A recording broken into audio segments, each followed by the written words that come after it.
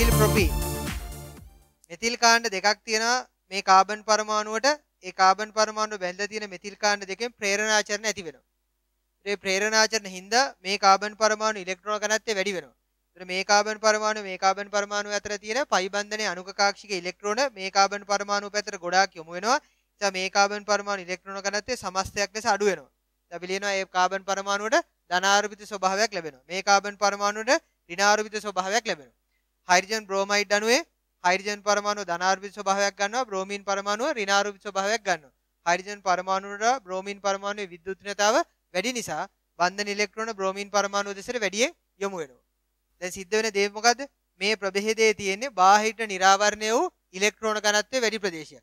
එතකොට මේ ප්‍රභේදයේ තියෙන බාහිර නිරාවරණය වූ ඉලෙක්ට්‍රෝන ඝනත්වයේ වැඩි ප්‍රදේශයේ තමයි ප්‍රතිකාරකය ආකර්ෂණය වෙන්නේ. අදහස් පැහැදිලිනේ? නිසා ප්‍රතික්‍රියා වර්ගය ඉලෙක්ට්‍රෝෆිලික ප්‍රතික්‍රියාවක් වෙන්න ඕනේ.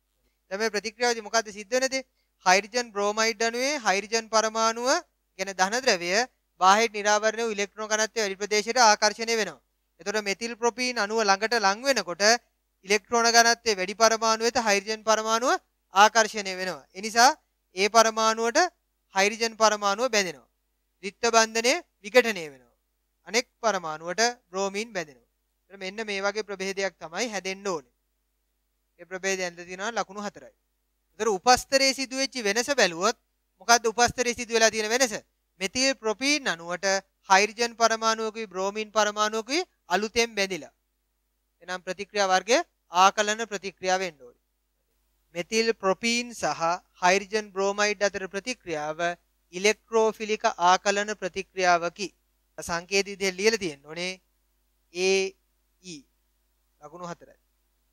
එතකොට මේ ප්‍රතික්‍රියාව ආරම්භ වෙන්නේ උපස්තරයේ පවතින බාහිර නිරාවරණ වූ ඉලෙක්ට්‍රෝන ඝනත්වයේ වැඩි ප්‍රදේශයකට ප්‍රතිකාරකයක් ආකර්ෂණය වීමෙන්. එහෙනම් මේ ප්‍රතිකාරකය අපි හඳුන්වන්නේ ඉලෙක්ට්‍රෝෆයිලයේ විදිහට. එතකොට ඉලෙක්ට්‍රෝෆයිලයේ විදිහට හැසිරෙන්නේ හයිඩ්‍රජන් බ්‍රෝමයිඩ් අණුවේ ධනාර්විත ස්වභාවයෙන් යුත් හයිඩ්‍රජන් පරමාණුව නැත්නම් ධන ද්‍රවය.